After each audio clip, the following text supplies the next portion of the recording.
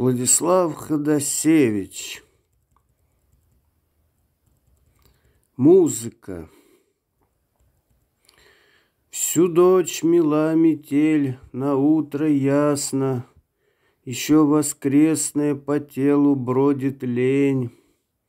У Благовещения на бережках обедня Еще не отошла, я выхожу во двор — как мило все, и домик, и дымок, Завившийся над крышей сребро розов, Морозный пар, столпы его восходят Из-за домов под самый купол неба, Как будто крылья ангелов гигантских, И маленьким таким вдруг оказался — дородный мой сосед Сергей Иванович.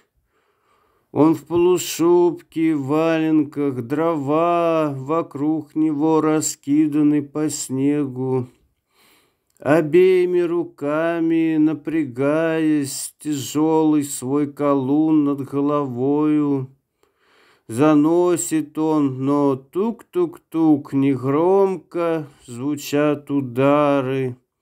Небо, снег и холод звук поглощают. С праздником, сосед!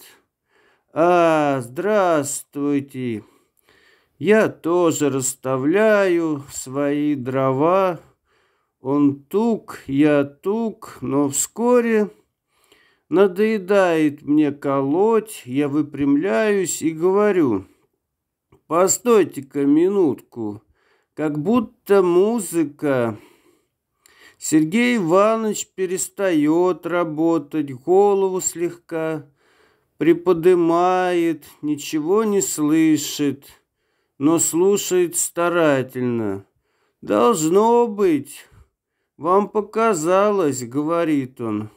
«Что вы? Да вы прислушайтесь, так ясно слышно».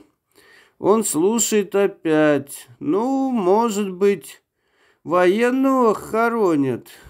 Только что-то мне не слыхать. Но я не унимаюсь. Помилуйте, теперь совсем уж ясно. И музыка идет как будто сверху. Виолончель и арфы, может быть, вот хорошо играют. Не стучите.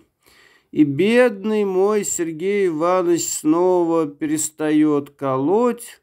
Он ничего не слышит, но мне мешать не хочет и досады старается не выказать. Забавно. Стоит он посреди двора, боясь нарушить неслышную симфонию, и жалко мне, наконец, становится его. Я объявляю, кончилось. Мы снова за топоры беремся. Тук-тук-тук, а небо такое же высокое и также в нем ангелы пернатые сияют.